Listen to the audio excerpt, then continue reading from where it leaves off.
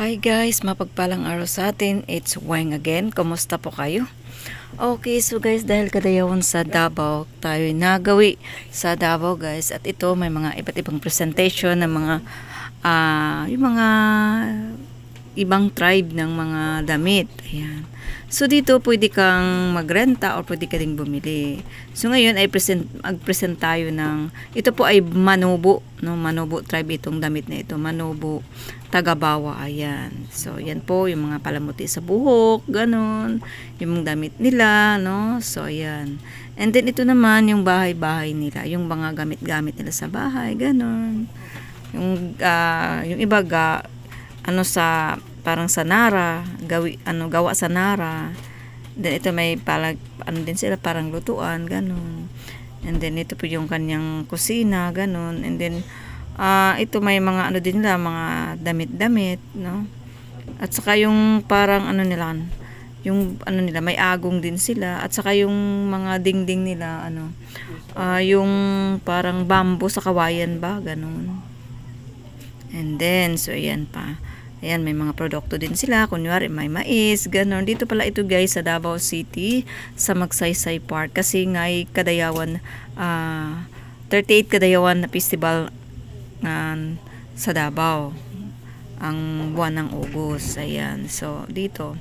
Ayan, ito na may ako'y ano, nagpa-sonsyo sa kanilang ano, sa ilang kasuotan at yung kanyang bahay, yun, ano lang ako, ikot-ikot lang ako sa bahay nila guys, ayan, para mag-present sa kanilang damit, ganun, manubo pala ito guys, manubo na tagabawa, ayan, kunwari may ganun, nag, ano ako, ibang tawag dyan, winnowing, ayun ba, so ayan, so okay naman guys, buti hindi umulan ngayon, so, yan. Ako'y nagawi-gawi mo na rito, guys. Para pang paalis ng stress, ganun. Alam mo na, magkaedad-edad na tayo. So, kailangan na natin talaga na yung bang minsan mawala din naman nating mga problema, 'di ba?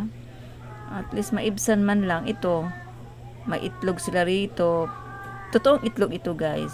Pero yung bibi nila ay hindi bakal po. Ayan. So, libot-libot muna tayo dito, guys, sa kanilang ah, paligid lang sa bahay ng Manubo na tribo, no? So yan po ang kasuotan nila kasi nga tuwing kadayawan sa Davao, may iba't ibang mga tribo naman na nag ah, nagre-present, no? So ito naman ay ah, ano sila, ah, tausog ito. Tausog ito na ano damit, no? Nagre-present din sa kanilang kasuotan, ganun. Ito naman yung bahay ng bahay nila, no? So, sa Magsaysay ito part, ah Magsaysay Park, ganun. So, ayan. Tausog ito, costume, no, sa kanilang, ano, marami din kami rito, guys.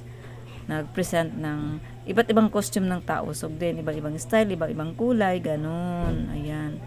So, hindi ko alam kung bagay ba sa akin, basta kayo na po ang maghusga, ganun. So, ayan. Mm. Post si Mona dito. Ayan. So, ito, yung photographer ko ay ano siya, dapat makuha ko daw yung ah, sayaw or hindi ko alam kung padipahin ba ako o pasayawin ba ako. No, basta yun na kailangan daw magganyan daw ako. Hindi ko alam kung ano, basta yun na yun. You know? So, marami din kami rito guys, nag-present. Ayan, yung mga kasamahan ko. Mhm. 38 Kadayawan ng Davao. Hello sa mga taga Davao. Kumusta po? Ayan. Hindi ko alam kung bagay ba talaga sa akin ang damit na ito, guys. Pero, carry-carry naman, no? Okay, so tara.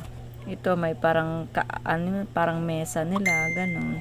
Hindi ko alam kung anong gagawin ko ra, guys, na anong galawan dito. Basta, yun na. Kailangan ako daw magsuot at uh, mag-present ng uh, tausog ang mga tribe na damit nila, ganun. So, siyempre, hindi rin mawawala ang pagkain, guys, kasi nga, festival, kadayan, festival kung kayo na may nagutom, ayan, pwede rin dito, guys. Guys, salamat sa panonood, guys. Sana mag-subscribe kayo sa channel kong ito, dahil ako'y nagala-gala ngayong araw na ito, no, dahil pang pawala din ng stress ba, ika nga, ganun.